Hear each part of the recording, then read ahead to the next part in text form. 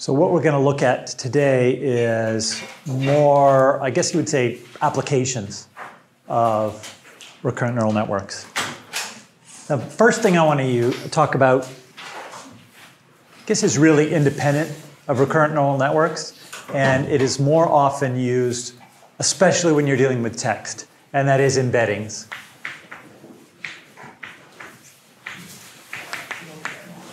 Okay?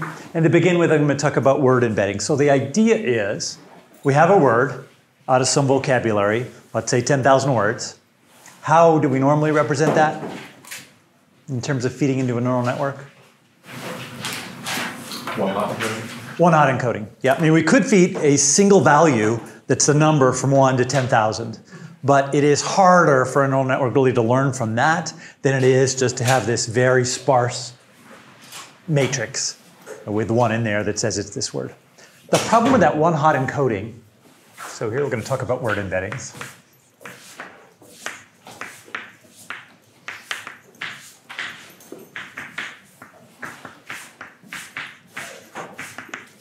So the one hot encoding has two flaws. One flaw is that it's the big, right? It takes 10,000 values to specify a particular word. So if you're inputting a lot of words, you have a lot of those 10,000 uh, values. And the second problem is there's no real relationship from one word to another word, right? The relationship between uh, sad and unhappy, there is none. It's just one is at one index and one is at another index. So in embedding, we're going to try and learn some idea of relationships between words. So this might be, let's say, 10K uh, vector. So an embedding is going to be multidimensional.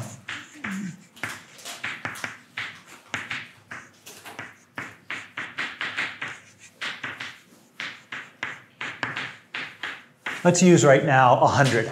So we'll have 100 dimensions for every word, and each value for a dimension is going to be some floating point number. Okay, so we might have, uh, let's say, dog is uh, 1,234. All right, in our 10,000, 1 to 10,000. But in an embedding, it's going to be some vector of 100 values. Let me give an example not using 100, let's use something like 4. And rather than having a neural network learn it, I'm going to actually provide some features um, that I have just pre-made up. Okay, so let's say we have dog, cat, lion, king, fish. Okay, these are all of random, random words from our list of words. Okay, and I'm going to be embedding these by providing some features. So I've got some features like barks, uh, purrs, domesticated, royal. Now let's let's start with that and see if that works. So dog Let's just use a number, let's say between 0 and 1. How barkish are dogs? 1. 0.99. Yeah, there are barkless dogs, right? I mean, they do exist. Um, they don't purr. Well, I have a golden retriever who purrs a little bit. Uh, they are very domesticated and not really very royal. Cats do not bark. They purr a lot. They're less domesticated than dogs, would you agree? So let's say a 0.9 for domesticated. And royal, they, I mean, they are kind of. They certainly carry themselves with a certain air of royalty. Let's say 0.1. A lions don't bark, they do purr. I understand. Uh, they are not very domesticated, and they have some royalness too. Kings, well, with the inbreeding, there is some barking, but never mind. Let's just say zero, zero, uh, not very domesticated, and they're very royal. And fish, don't bark, don't purr, they're slightly domesticated, and they're not royal. All right? So instead of, if, if this was our embedding that we were using, then we would convert dog from instead of being one, two, three, four, what would its vector be? Uh, Nick. Uh, would it be 0.90110? 0.99, 0.01, 1, and 0, right? Every one of these rows is an embedding. And we could have a matrix that converts from a one hot into a particular um, uh, embedding vector, right? Basically, this would be such a matrix, assuming the dog was zero and cat was, sorry, assuming dog was one zero zero zero zero and cat was zero one zero zero zero. We could just multiply that by this, and we just end up with the right row. It just picks out a row, okay?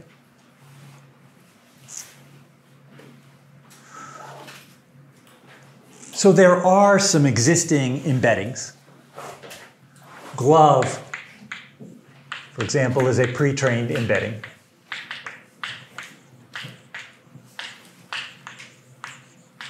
And all I really mean by that is it's got a uh, list of source words and it's got a matrix. Right? And there are some interesting things you can do with embedding. Because what we've got is this n-dimensional, right? There's three dimensions, but let's say we have more, this n-dimensional space of words where there are words that are close together and are close in meaning. So we would expect unhappy and sad to be a lot closer in this n-dimensional space than we would unhappy and lion, because lions are very happy. Um, but anyway, um, does that make sense? We can also do this interesting vector manipulation. Let me give you an example. Let's say we take a lion and we subtract, I'm going to put one more in here, wolf. I looked it up and wolves do bark. They bark, they howl too, but they bark, okay? not as much as dogs. They don't purr. They are, in fact, not domesticated. Let's make it a 0.01. And they're not royal. So if I take the embedding of lion, okay, which is this vector here, and I subtract from it the embedding of cat, right? So this is just a vector subtraction. And then I add so let's say we look in two-dimensional space. Let's say this were somehow projected into two-dimensional space. So we've got lion here and cat, let's say here. And then somewhere over here we have dog. What I'm saying is, if I look at that vector here, and that vector here, what's there? That is, I take, and I'm not sure I'm doing my vector, or so E lion minus cat plus dog. That is, what if I took a lion, took out what of the lion is a cat, and put in dogness instead? Okay? I end up at this location, basically. That makes sense? Let's just try the numbers. So lion is 0, 0.9, 0, 0.1. Cat is 0, 0.98, 0.9, and 1. So if I subtract those two, I get 0. Ugh, I get negatives. 0.08, negative 0.9, and 0. And then if I add dog, 0.99, 0.01, 1, and 0, I get 0.99, negative 0.07, 0.1, and 0. What's closest to this vector? Which word? Uh, Rory.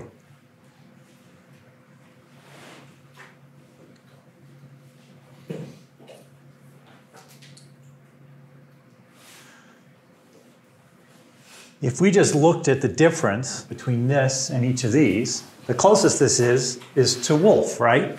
It's pretty close in barkness. It's close in purrness. It's relatively close and domesticated because what do we have here? We have a zero, a 0.1 and a zero here. So this guy is lion minus cat plus dog is approximately E wolf.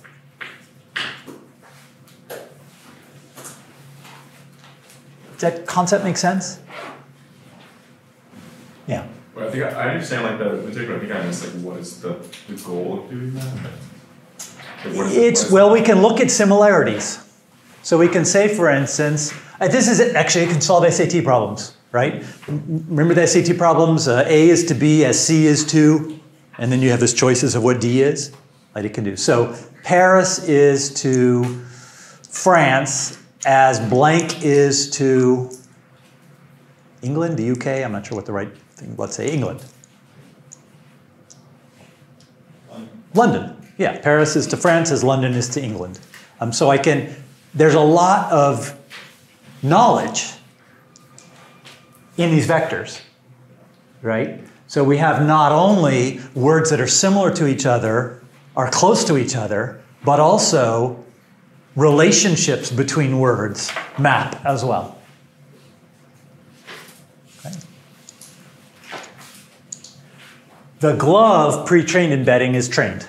This one, of course, is made up. But you can imagine it, ha- it has its own 100 features that it has decided are useful for coming with words. It probably doesn't have one feature for barks and one feature for purrs and so on, because it had run out of them pretty quickly. But it has what has turned out to be the most useful features in order to categorize words. We'll talk about how these embeddings get trained in a moment. Yeah. Does, is that a question? All right. Does it, does it make sense what an embedding is? So, So GloVe has Yeah. a hundred features, you said? Glo- actually, there's a variety of different choices. Among others, there's a 100 feature They're version. all real words, the features, or like The bars? features are not words. So every, every column is a learned feature.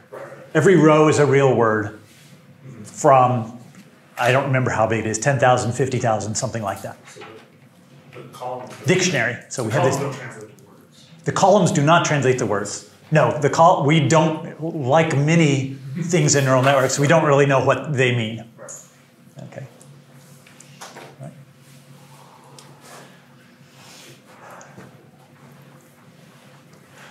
So an embedding is this multidimensional representation of an entity. Here we're talking about words.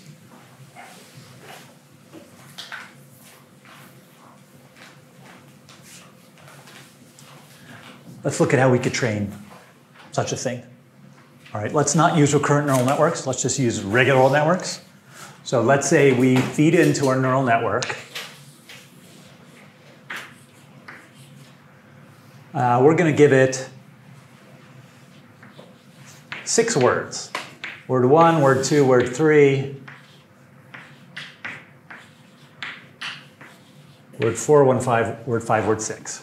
And we're going to feed these through an embedding matrix. Okay, this is basically like the GloVe embedding matrix. We're going to have to learn this though. Okay, that's the goal is we're going to be learning this.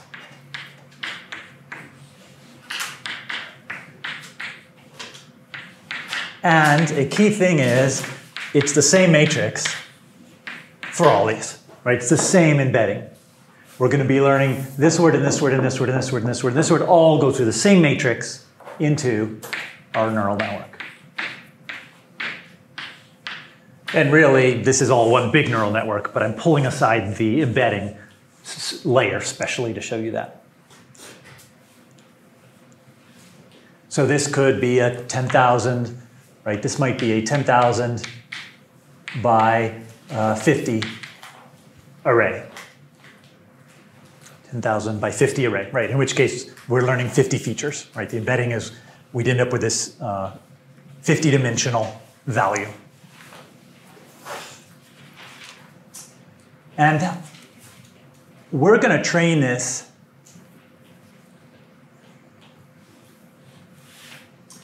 on sentences like I went to uh, blank. So this is word one, word two, word three.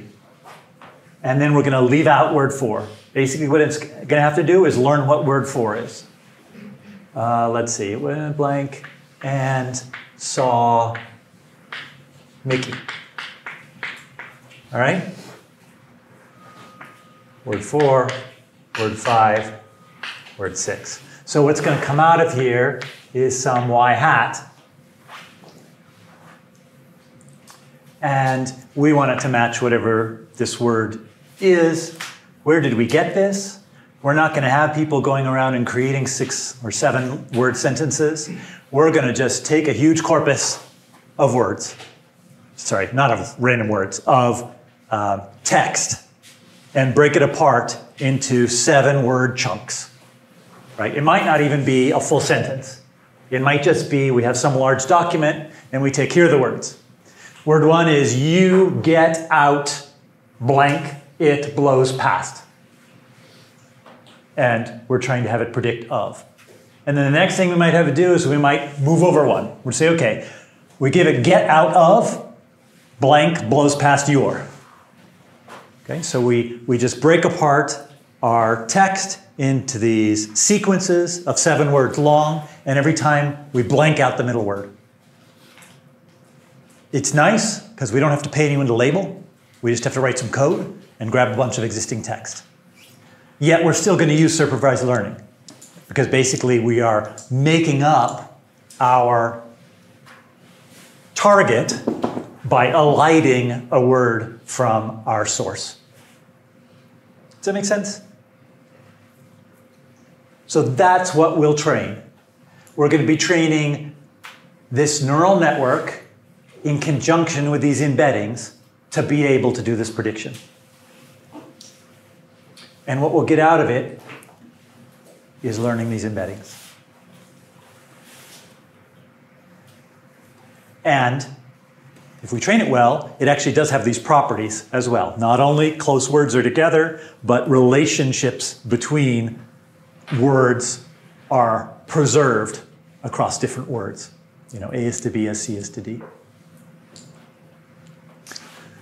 We can use these embeddings, these pre-trained embeddings. We can go download from GloVe these embeddings, and we can use them in our textual problems. So for example, if we you did the IMDb example, remember that one? Where we fed in this bag of words? Well, what we could have done is actually come up with uh, embeddings for each of the words. And that would provide a lot more information to our neural network, such that I could probably do better. Make sense? Not make sense? Any questions? Is it just for words? Go ahead.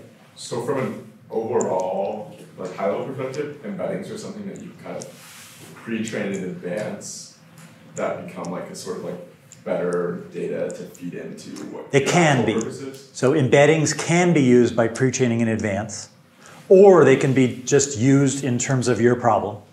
So as an example here, we would want to use, in Keras, this would be an embedding layer. We'd basically have an embedding layer here that would take our six words and turn them into six one-hots, turn them into six um, uh, vectors of, of, of this dimension. Since we have repeated words, we know they're all words and should be treated the same way. And by forcing us to go through this embedding, this shared matrix, we're allowing that network to learn that we're treating these words similarly? As opposed to just having 10,000 one hot, 10, basically having 10, 20, 30, 40, 50, 60,000 inputs, six of which happen to be ones, and it doesn't know the relationship between any of them. Here, at least, we have a relationship between there's this one chunk of things, a second, a third, a fourth, a fifth, a sixth, that we're actually um, doing a lot of sort of pre-processing on. But you can certainly learn it in your problem. And often, if you are dealing with words, you want to be using an embedding. In fact, it's not just words. It's really the fact that it's categorical data. Right? If we think of words, we have these numbers between 1 and 10,000, or depending on your dictionary, 50,000 or 100,000, but it's just a number that represents a particular word, but the number itself has no particular meaning. I'll give you another example of something that has no particular meaning.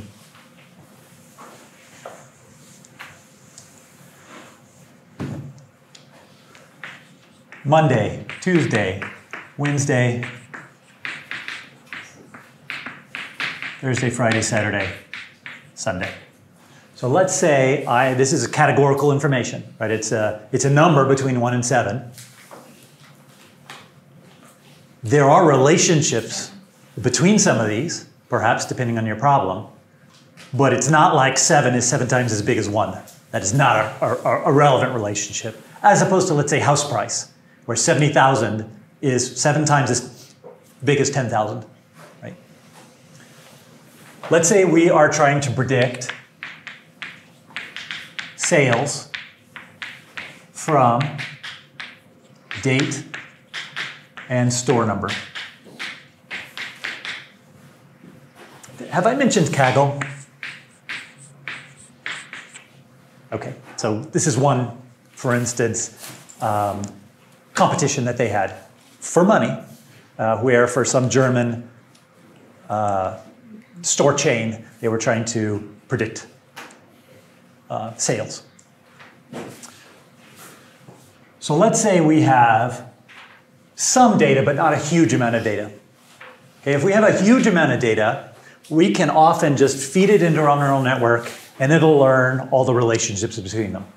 But if we have a limited amount of data, it's often a good idea to set up your architecture to kind of force it to um, use the information that we know about the structure of the problem. So for example, let's say we have a date and a store number. Here's what we might do. We might do a little bit of pre-processing, so feature engineering. Let's break the date into year, month, day, and day of week. Okay, Monday, Tuesday, Wednesday, Thursday, Friday, Saturday, Sunday. And we've got our store number and we've got our sales, right? So sales is just some number, which is not categorical. What about store numbers? Are store numbers categorical? So these are categorical. Day of week, categorical. Day, which is the day of the month, also probably categorical. Month, categorical. Year, maybe that's not, right? So for month, you can say, well, maybe like June, July, and August are going to be very similar in terms of our sales and very different from, let's say, January, December, and February. Um, year, we might choose to be categorical or we might leave it alone.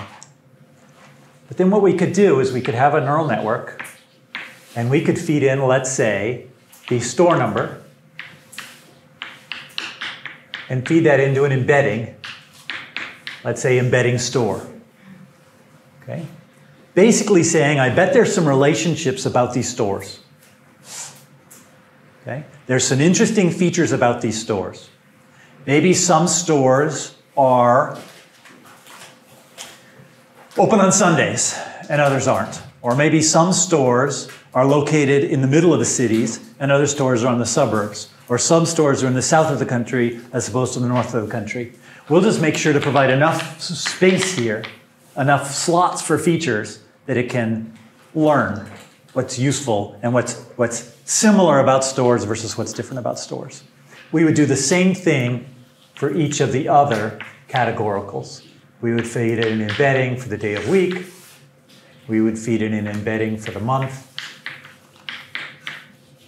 and so on. Feed those all into here. And our y hat would be our predicted sales. Does that make sense? So we're designing our architecture to push the neural network to kind of learn there's relationships between these store numbers, there's relationships between these days of week and so on. Because otherwise it just goes into this fully connected network, right? And it would have to kind of learn that these values are related and these values are related and these values are related and I should just pull out some features. And if I only have a limited amount of data, it might not be enough for it to learn that. You had a question? Uh, so you're not training the embeddings, you're already trained on the specific things. So here's what I'm doing here. In this case, sorry, in both this, sorry, in this case, we were training the embeddings based on these inputs. And then we were going to say these embeddings and use them later for other things. Okay? So that's like GloVe. This is roughly how GloVe was trained. And we got this embedding, and then this is the piece that we're interested in. Here, what we're saying is, we don't care about this for later. And certainly, if we have embeddings for day of the week, it might not be very useful, right? If we're trying to predict prices in Germany, it may be that the relationship between Saturday, Sunday, and Wednesday is much different than what it is here in the US. So this is going to be purpose built for this problem.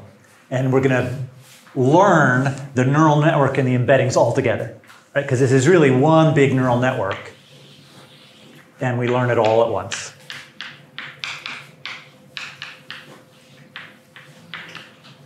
And, and like where would you like take embeddings by itself and use it for something else, or is it? Unlikely we're going to use it for anything else. It is probably only useful for this particular problem. Then like why, why is it different than just having it as like one, like continuous? Yeah, so let me show you why.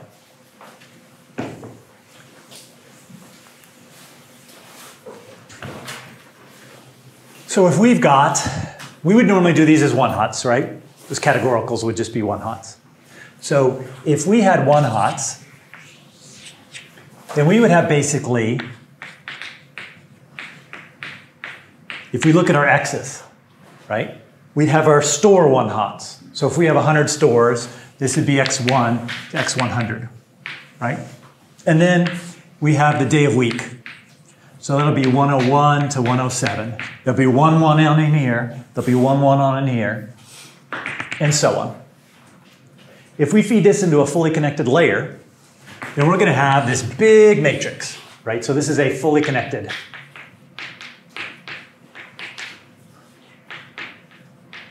So this will be our W sub, uh, what do we call it? W sub 1? Okay, it's going to be a big matrix, right? We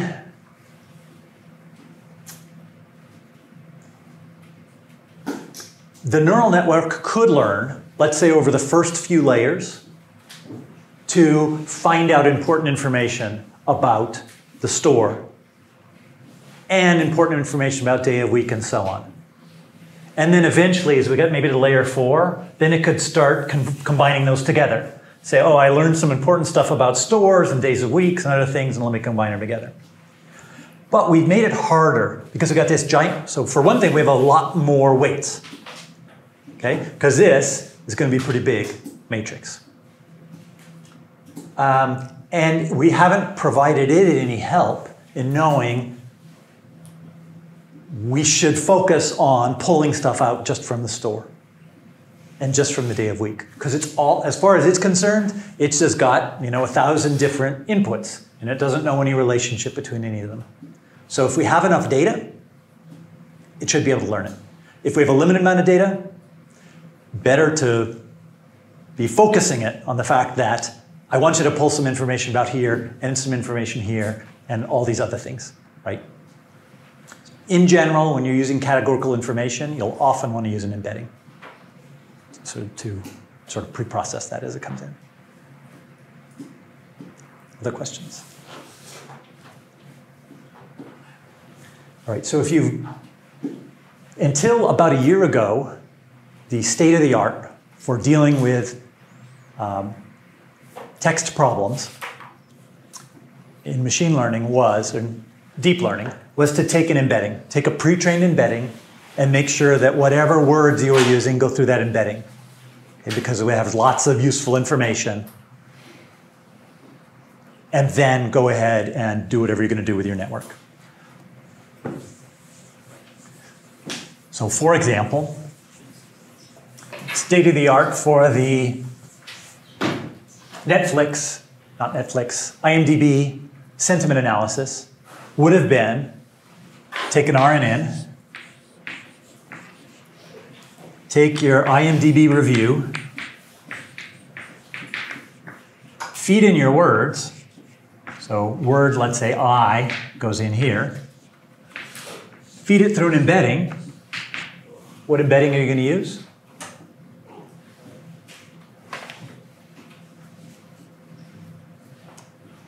We only have a limited number of reviews, so we want to do some transfer learning. So we want to take advantage of, let's say, GloVe, right? GloVe embeddings were trained on lots and lots and lots and lots and lots of sentences, so they're pretty good.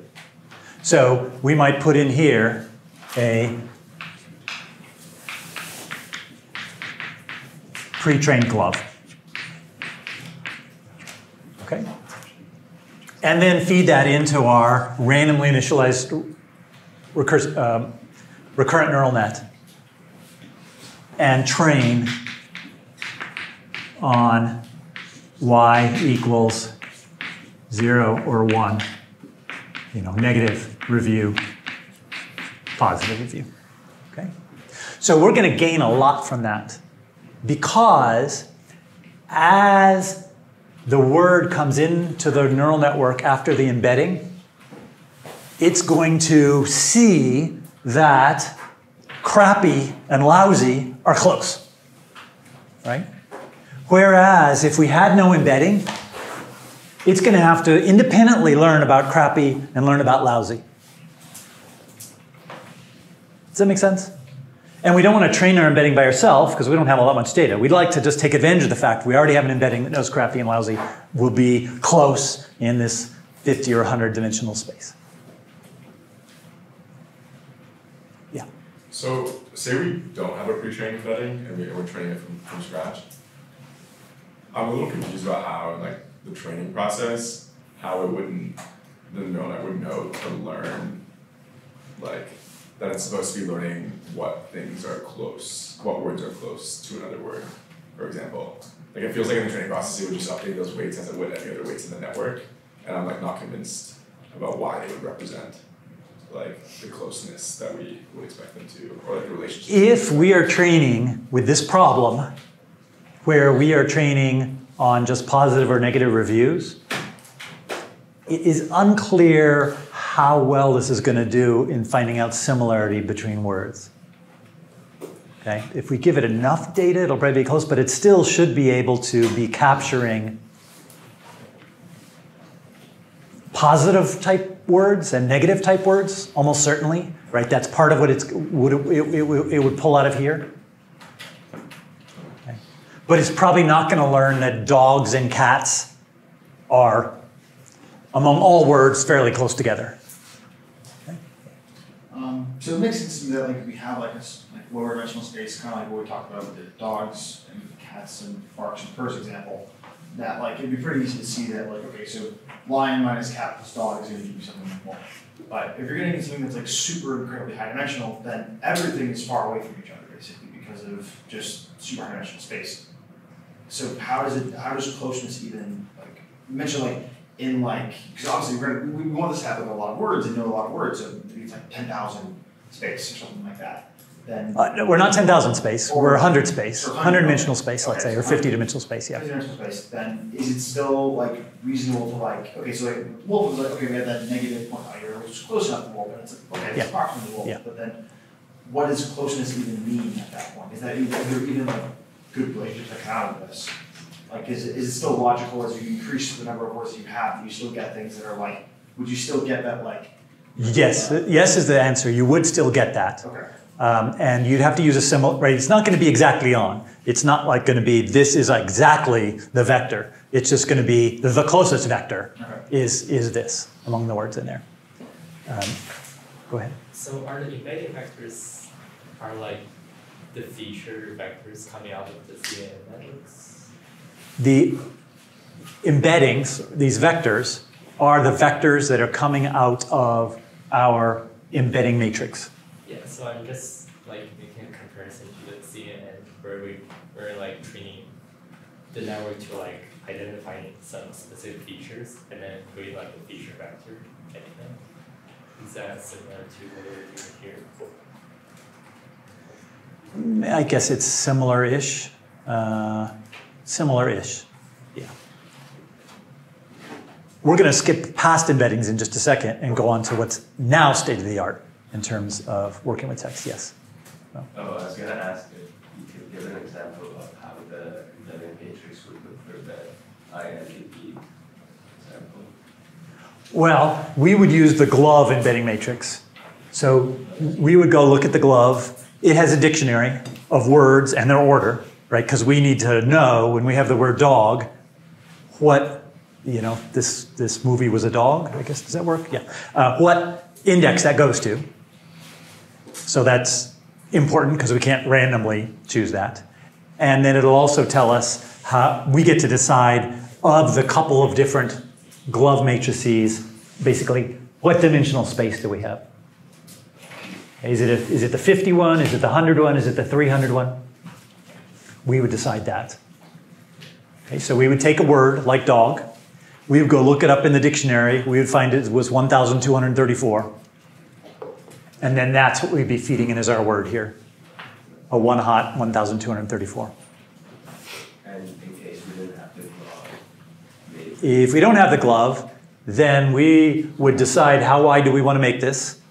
Right? Do we want 50 features? Do we want 20 features? We probably want to have fewer in our case because we don't want that many parameters to train.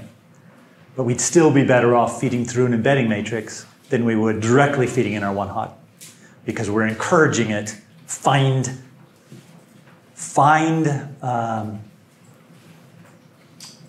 find useful features from the words is basically what we'd be doing. Yeah. So, so is W and E, like in this example, are they just like multiplied together? Because are, are they not the same dimension? So let's look at W and E in more. They have to be. So W.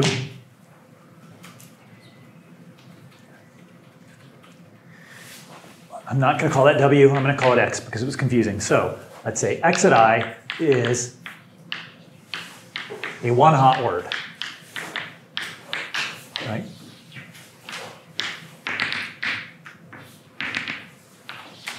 So let's say this is 32 here, right? The embedding matrix, except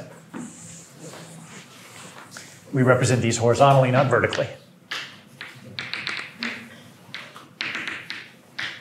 So this is 32, all right? We'll multiply this by a matrix. How many rows in this matrix for this multiplication to work? 32, right? So there's going to be 32 by how big?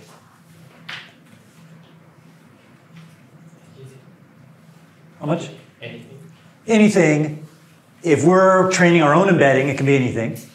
If we're using a pre-existing embedding, it's however big that is. So maybe it's 50, right? Now notice what this does. Given that this is a one-hot encoding, all this really does is pull out a row, right? All this says is pull out the 32nd row. So in Keras, for example, the embedding layer doesn't have, doesn't actually take this as input. It takes 32 as input. How can this be 32 and this be 32? This distance is 10k. The whole thing is 10k, right? Because it's a vector of length 10k. and it's converting that or compressing it into something of size, dimension 50. So if this is the 32th one at the 32 entry, that basically says find the 32nd row. And so the embedding layer in Keras takes 32 and says go look at the 32nd row. Don't do this big, sparse matrix multiplication where there's just one one. Right? I know it's just going to be a number from 1 to 10,000. I'll just go and pull it out. So that just makes it faster. So then, Good. the RNN has to learn what the abstract columns mean from the embedding? The RNN is going to be, the error is going to be pushing these columns to generating something useful to the RNN. So the RNN and the embedding are going to be working together to come up with useful representations. So when we take a pre-trained embedding, do we also want to train the embedding and modify it as well? That is a good question. So probably like any pre-trained, we want to freeze it to begin with, and maybe do some fine tuning at the end. Okay? But we want to start with it frozen because if the rest of our neural network is random, we're going to be having large losses. And we don't want those losses to change this embedding yet, right? We want to go ahead and have this RNN basically learn to use the embedding as is, and then maybe tweak it a little bit.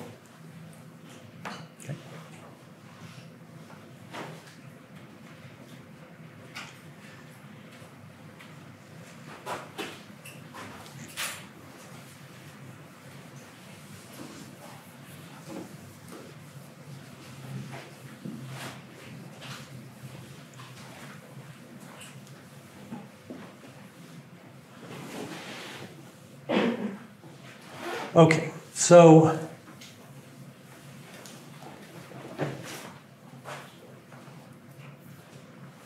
we've got our, this embedding.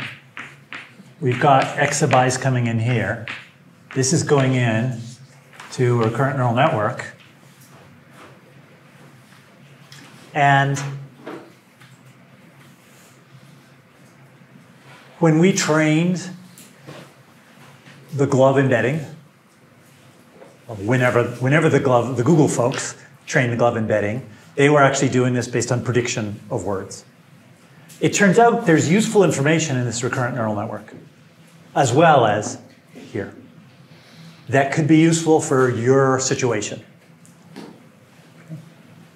Because the recurrent neural network is going to contain information it's not just word specific, but on context. Let me give you an example. Uh, uh, Sally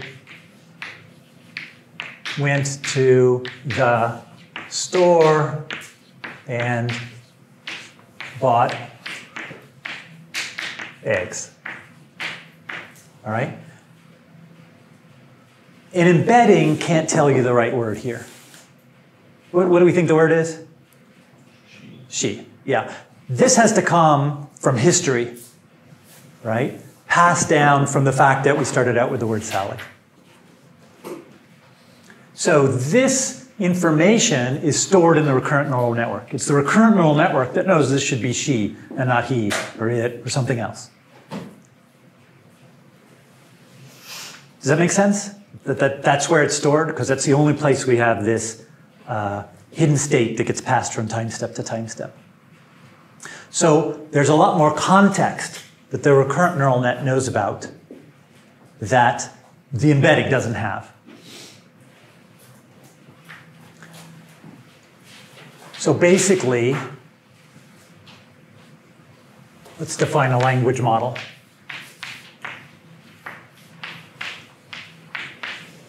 A language model allows us to predict missing words. And it's trained on predicting missing words. So we just take sentences and we mask out one or more words and we say to the model that's learning this, predict what those words are.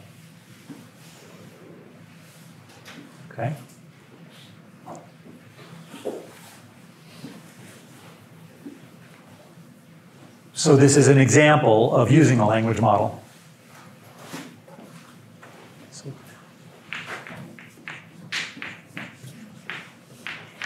And often it is an RNN prefixed with an embedding.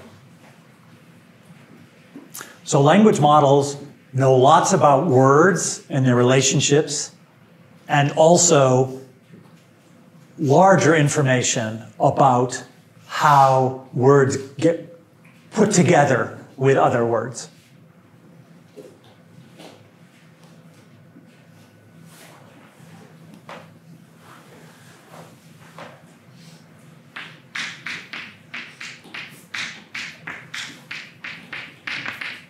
So we can use this for transfer learning. Let's see.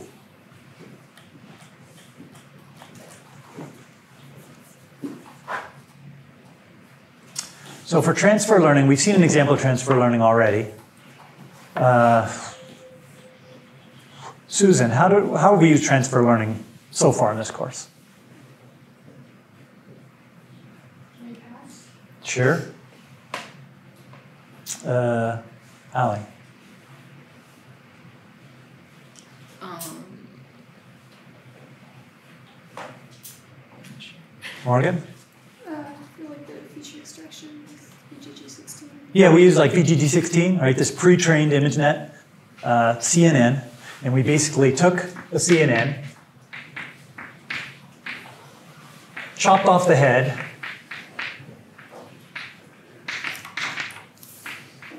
and pasted a new head. Right, so we chopped off the part that was trying to classify into a thousand different categories and pasted on whatever we were interested in.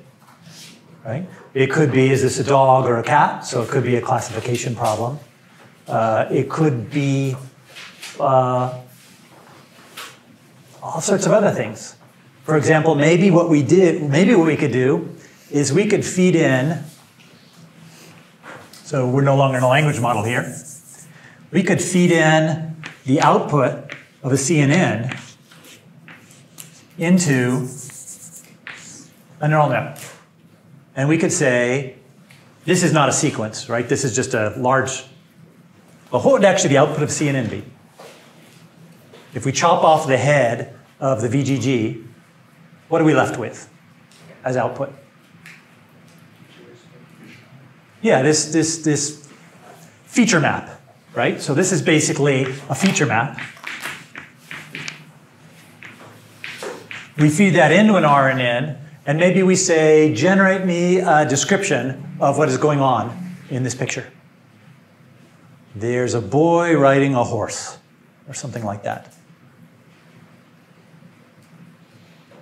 Now, if we want to generate there's a boy riding a horse, we don't want to start with an RNN from scratch because we've got to now learn how to generate good English.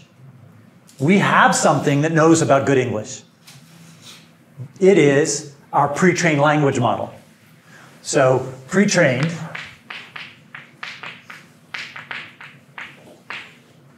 uh, for instance, uh, BERT. GloVe was trained by Google, BERT's also trained by Google.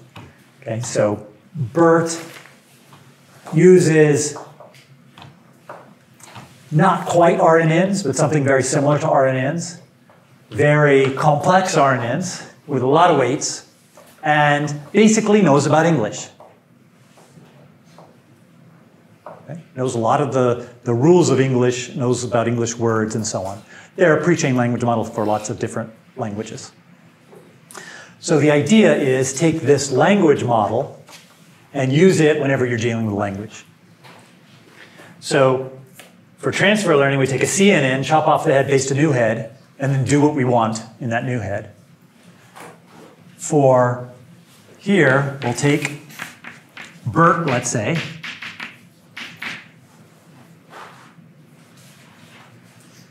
we'll chop off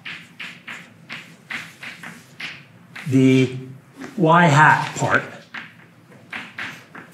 This is, if we look at it unrolled, we have here, y hat 1, y hat 2, and so on. Right? So this is where it's predicting what the, word, the missing words are. We don't care about the missing words. So we're going to kind of just strike that. What are we left with? What's of interest here? Oh, it's actually right in here. We have H1, H2, H3. Here we have X1, X2, X3. These are words. Somewhere we've got an embedding in here. I'm not going to show it explicitly, but the language model has that. So what's of interest in here? Like here with the CNN, we took the last layer, which is this feature map, which kind of represented what the image was, right? For, at a high level. What here represents what the sentence is? Anyone? Jack. The hidden state. Like this hidden state, the last hidden state? It's that whole distance to that point, right? to it had iteration in the previous. Yeah, this would be, if it's a three letter sentence, or a three word sentence, then I guess it would be this. So this represents everything up to this point. So we could just take the output of the final state and say that kind of represents the sentence. In fact, let's look at that for a moment, and then we'll come back to using this pre-trained model. Let's look at how, how translating from English to French works. So we're going to, sorry, not French, because I don't know French, but I know some Spanish words. So we're translating from English to Spanish. All right? We're going to have two RNNs. So this is the translation problem. We're going to feed in um, I am hungry.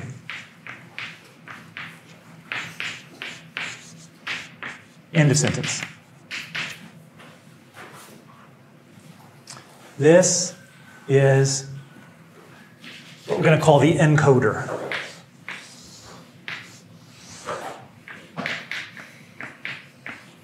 We're encoding the sentence.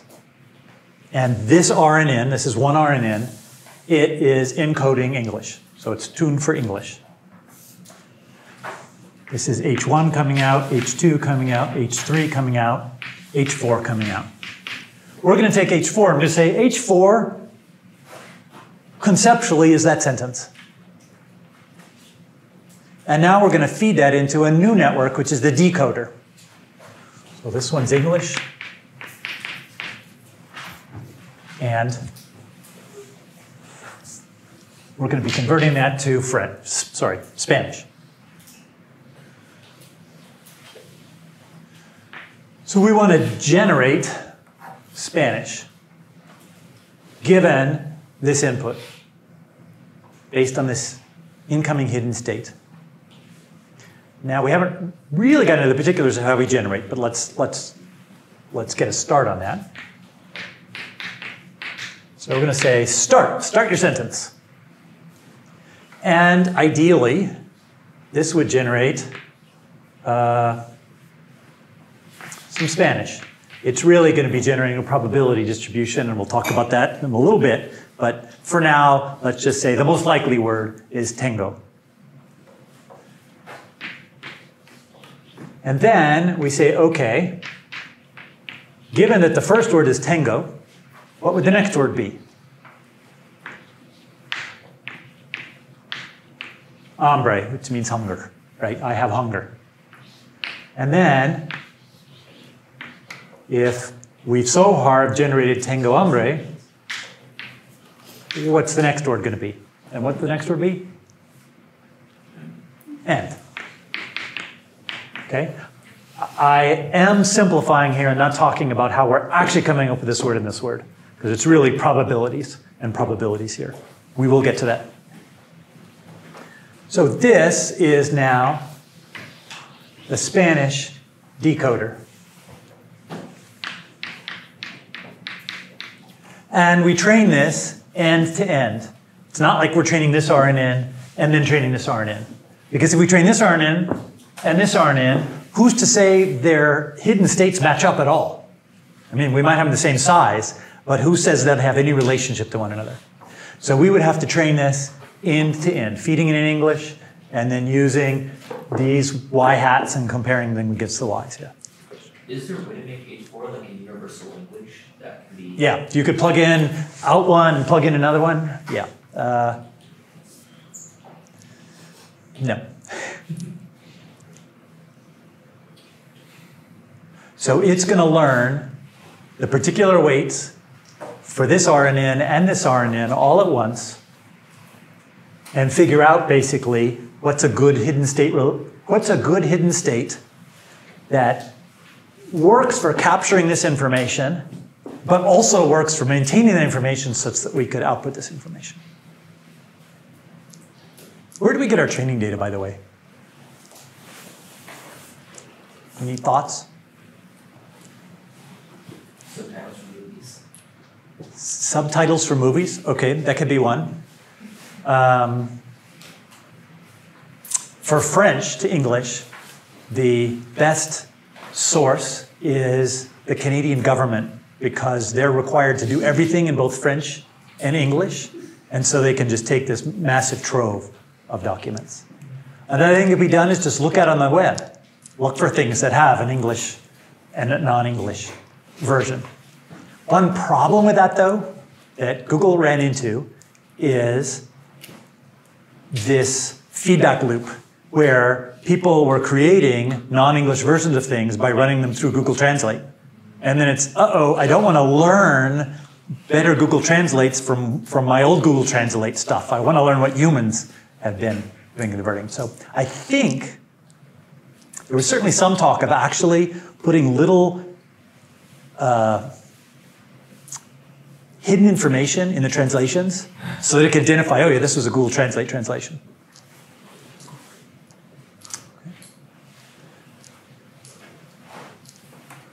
All right.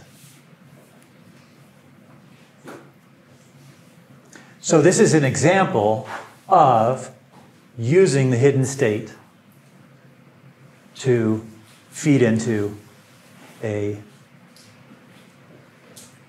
doing something else with that hidden state, or rather the hidden state having captured everything that went on before. So here's the idea with our language model and transfer learning. We have our trained language model. We basically take out the H sub, so we, we feed in uh, n x's. And then we take out h sub n. And then we feed that into something else. Okay? We might feed this into a classifier. You know, we might do a couple fully connected layers and then a sigmoid to do sentiment analysis, positive, negative. We might do a couple fully connected layers and then go into, let's say, a uh, softmax of 10, right, if we're trying to predict 10 different categories. That make sense? But we're utilizing the smarts of this RNN. Right? And the fact that the RNN probably understands, like if you say, uh, I was not thrilled versus I was thrilled, it probably has to be representing that somewhere in here. That, wow, those mean quite different things.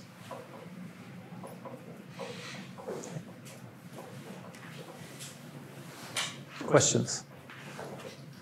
Yes. Can you kind of explain how the um, image capturing works is that as easy to explain? or is it- It's not that easy to explain. I'm going to try to show you how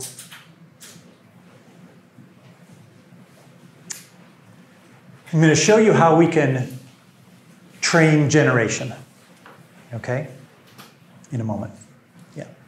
So, it makes sense to me that, this is more of a question for hidden state, the actual, like how hidden states work, but um, it makes sense to me that it's, hidden state's gonna have information regarding the context and like, uh, and then everything that happens getting to there.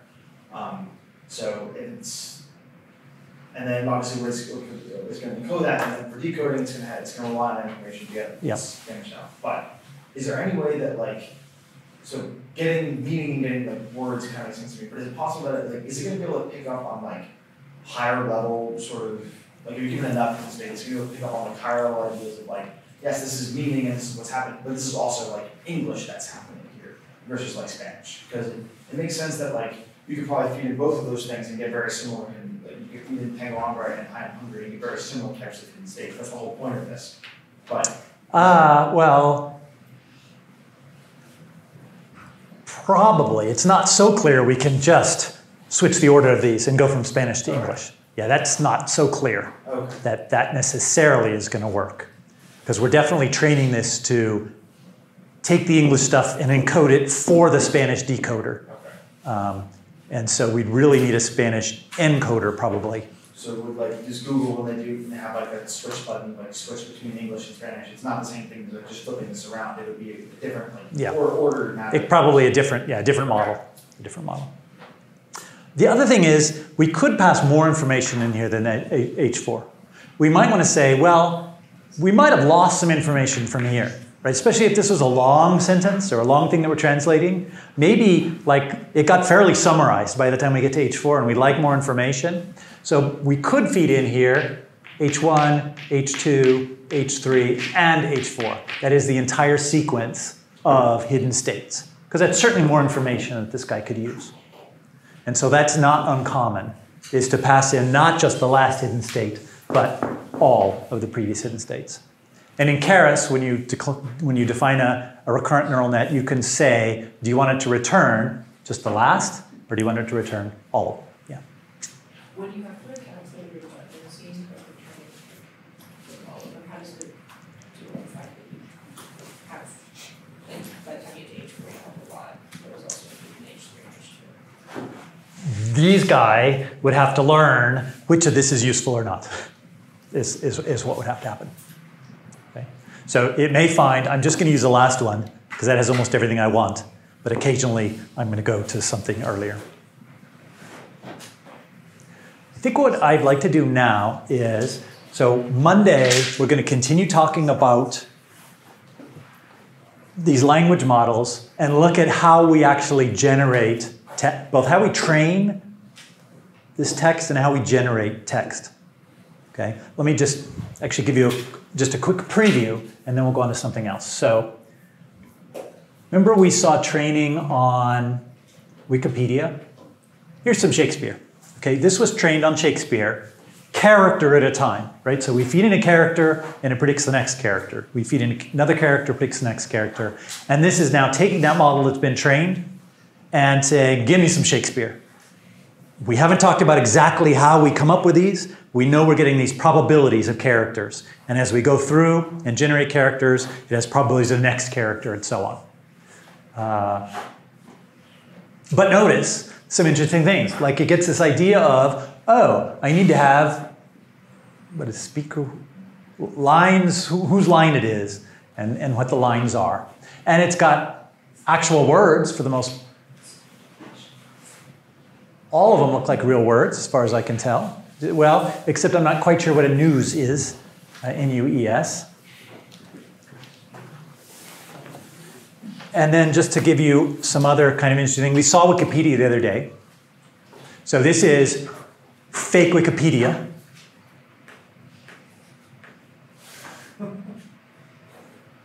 So it's like, you know, got appropriate left brackets, you know, open and close and so on. Uh, I don't know it is very meaningful though. Uh, and sometimes it generates XML because I guess XML is part of some Wikipedia pages. But actually, look at the XML. Page ends with a closing page. Revision ends an open revision. So it's got some good hidden information that it's keeping, which I think is pretty cool. And another one is generating LaTeX. So it basically took a big book uh, and on algebraic stacks and geometry and then started generating LaTeX from it. And so they had to make a few changes to make it compile, but like this is what it came up with. Yeah, C discussion of sheaves of sets. Uh, there was one which I think said like uh, proof left for the reader or something, which I liked.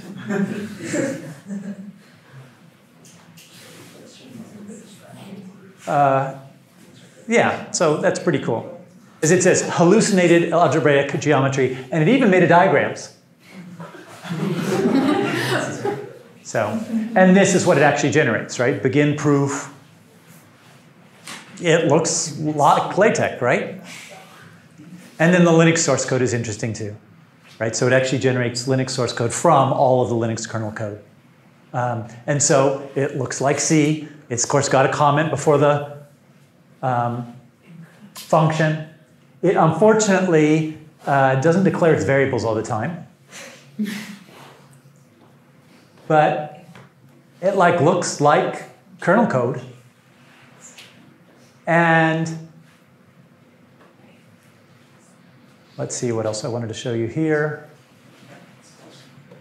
Oh, and occasionally it'll generate a new file, and like it has to start with the GNU license, and then it puts in some include files that might be useful, has some defines, right, and then goes on with functions. So it's just, I think it's interesting. Let me pass this out. This is your assignment and your homework. What I want to talk about is Keras and their implementations of LSTMs. So we have looked at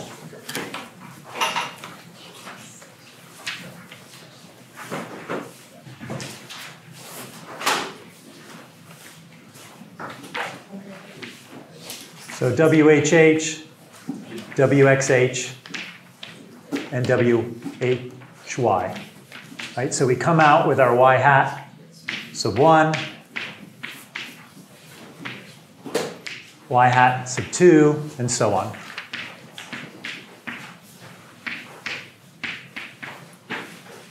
And I said basically that this was part of the LSTM or the RNN, is that we have this output, this weight matrix, an activation function, and an output to a y hat.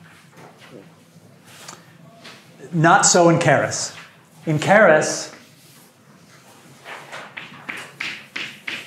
that's not here.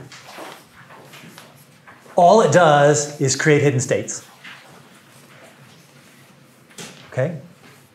So how you can think of it is kind of more like this. We have H0 coming in, and here, H1 kind of comes out to the right and on top.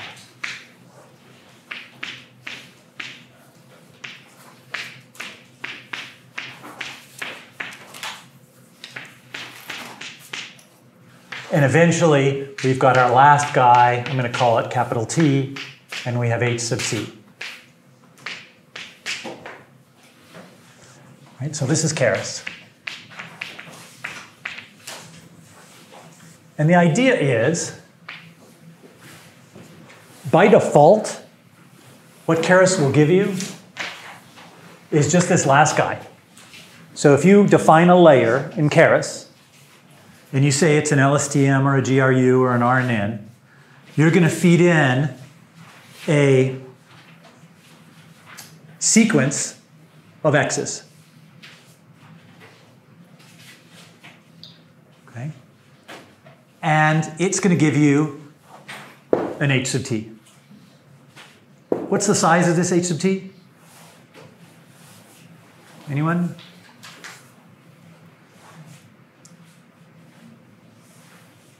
vector one by state. One by however many hidden states you choose. So if you choose 100 hidden states, this is one by 100. Okay? So you feed in an x, and the x depends on, it's actually two dimensional feed in x. So x is going to be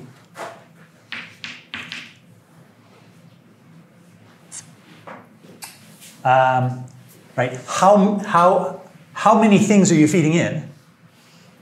Because you could be feeding in more than one value here, right? So at time step one, you have two values. At time step two, you have two values. All the way to time step t, you have two values. So in that case, we'd have a either 2 by t or t by 2, and I don't know which one. Okay, we'd have to, we'd have to look that up. But it's one of those. Does that make sense? So two inputs at each time step, t time steps. So that'd be coming in, and then going out, you would have, let's say, a 1 by 50, if you have 50 hidden states.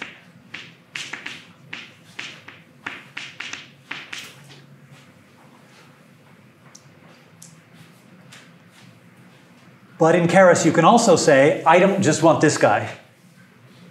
I want all of them. All right? So you can choose to get all of them. And this is where you'll say return sequences when you're initializing. So you'll say, I want all of them. Okay. You guys are going to be doing a problem in computing parity. So the x's that we'll be putting in are just binary values, 0 or 1. And your job is to train an LSTM to generate parity. So you feed in 50 zeros and ones, and it comes out with a 0 or a 1. Does that make sense? No? What's parity? Parity XOR, exclusive OR. So are there an even number of ones or a non-number of ones? Is there a limit on number of layers that we use? We haven't talked about using multiple RNN layers. Basically, you can take an RNN and you can say, let's feed the output of that into another RNN and then have another RNN stacked on that. So you can have higher and higher level information. But you get one. Okay? And actually, hidden states, you get what would seem like a good number to use for hidden states in your computing XOR. 10, that'd be a number. Um, here's what I know. Zero would not be enough, so I'm going to go ahead and give you one. So you get one hidden state. Okay. I know it's doable because your homework, different from your assignment, is to by hand construct an LSTM with one hidden state that can compute parity. Okay, so you're going to come up basically with the, what the weight values are. So that's an existence proof, and then we'll see whether we can actually train this guy. What you'll find, there's two parts to the assignment. Part number one is just use a default. We have a sequence of length 50. We're going to get out what its value is, and we're going to then look at the actual value of the parity for this. So it's a 0, 1. We have our y, it has its y hat, and we'll push the loss back. You'll find it's really hard to train. Like, if you could train it, that's great. I'm, I want to see it. Okay? And then we're going to make it a little easier and say, instead of training just from the last parity, let's go ahead and get all the h's. Right? So this should be the parity of x1. This should be the parity of x1 to x2. x1, x2, x3, x1, x2, x3, x4, all the way to x1, x to xt. So it's every prefix. And so that way, we're going to be, our loss is going to be how good was this one, how good was this one, how good was this one, and all the way to how good was this one. So it'll be much easier to train because we have all this loss going back. Does that make sense? What you're doing? So you're going to have to just generate a bunch of random 50-bit strings or vectors, calculate the parity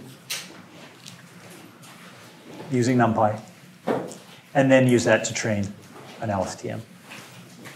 Okay? You still what parity is again? So yeah, let me tell you, parity, give an example.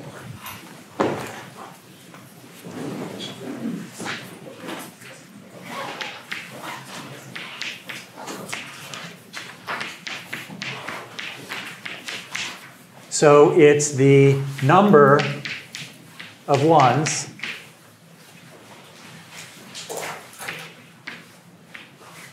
mod 2 as one definition. Right? So if we've got three ones, it's a one. If we've got four ones, it's a zero. If we've got five ones, it's a one. So this is also equal to the XOR of our values. It's the same thing. But Yeah. only ones, so zeros can be. All we care for parity is how many ones do we have? And we just, all we want to know is, is it an odd number or an even number? So odd number of ones or even number of ones. All right. So next week, last week classes, right? Monday, homework is due. There's a quiz. Thursday, assignment is due. And I skipped a day. Wednesday, I'll give you the finals. Any questions? All right, I will be down in the cafe.